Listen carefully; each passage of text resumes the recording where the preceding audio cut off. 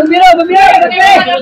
Nagkaguliyang kining mga residente sa kilometer 13 Zone 1 Panakan, Davao City pasado launa sa hapon kagahapon Marso 22 dihang miulbo ang dakong sunog. Iyahay og hakot sa ilang mga gamit ang mga residente o gidala sa mas luwas nga lugar.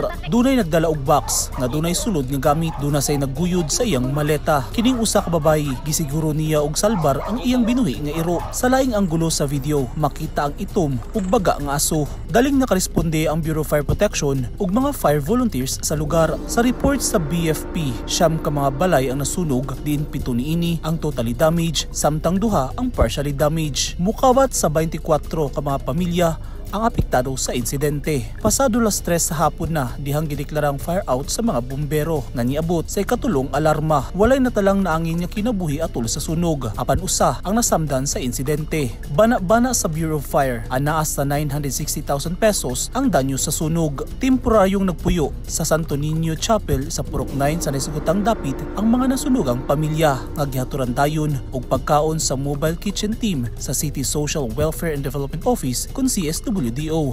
Naghimo na og assessment ug validation ang CSWDO alang sa ihatag ng mga hinabang sama sa cash assistance aron dunay ikapatukod balik sa ilang balay ang mga nasunugan. Gipalaw man pa sa BFP ang investigasyon aron masuta ang sinugdanan sa kalayo. Eugene Hinutan, Newsline Philippines Davao Region, stay safe